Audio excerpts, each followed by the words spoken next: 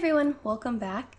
So today the question says a collection of 15 coins consisting of only nickels and quarters has a value of $2.75. If X is the number of nickels and Y is the number of quarters, which of the following systems of equations can be used to determine X and Y? So my general ap approach to word problems is to basically just break it down line by line and just basically turn the words into a math equation. So, for example, looking at the first sentence, um, that tells us that you have a total of 15 coins and it consists only of nickels and quarters. So, what I can use that information to write in a math equation is that x plus y is equal to 15 because the number of nickels plus the number of quarters is equal to 15.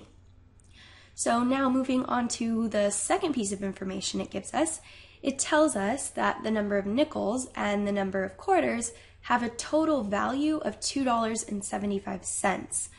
So the way I would do this is I would have done 0.05x plus 0.25y is equal to 2.75. And that's because this is the number of nickels, so you need to multiply by its value so that this, the units of this would be in dollars just as your $2.75 is. And then same thing with this y.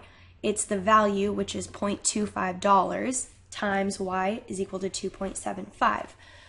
However, when you look at your answer choices, this unfortunately isn't available. This is, and we can eliminate um, this one, this one, and this one just by this equation. Um, however, this one here is going to be a little bit different. So if you notice, in the question they did say 5 cent pieces and 25 cent pieces. So instead of writing it like this, they did 5x plus 25y and then they just converted this to cents. So they have 275. So essentially all they did was they multiplied this entire equation by 100. So moving the decimal over 2 to the right in um, each one of these terms, you get this equation here. So the correct answer is going to be choice E. And if you notice, it does say which of the following systems of equation can be used to determine x and y. So both of these would actually work. They just did it a different way than I did. They did it this way.